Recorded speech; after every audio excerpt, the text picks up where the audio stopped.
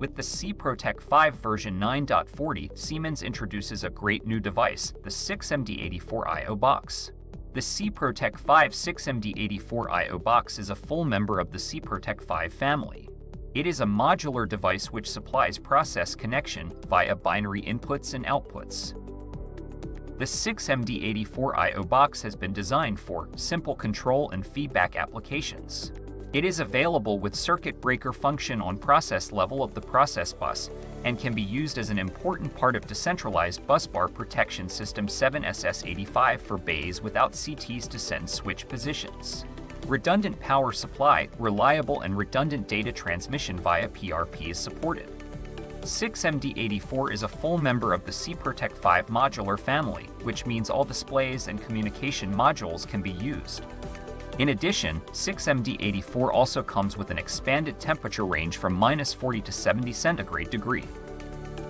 The 6MD84 is a high-performance I.O. box that is specifically designed for the high demands in measurement and control. The extended data acquisition provides additional interfaces for more binary inputs, outputs, and additional data like temperature, pressure, tap change, or setting.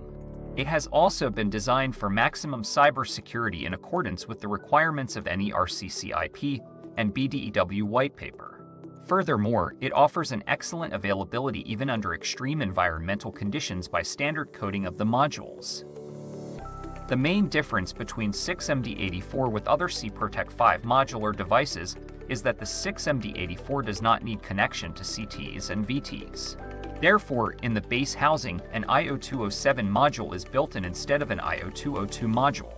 The table shows the available functionalities in comparison to the Bay Controller 6MD85 and 6MD86. Functionality which requires CT and or VT connection is not possible in 6MD84.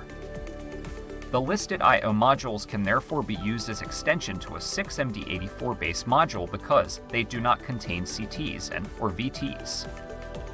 In the application circuit breaker controller and process bus system, the 6MD84 I.O. box is installed at process level in the substation like the merging unit 6MU85. Via IEC 61850 Goose, the position of connected circuit breaker and disconnectors is sent to the bay level and the commands from the bay level are processed in the 6MD84 and forwarded to the switching devices.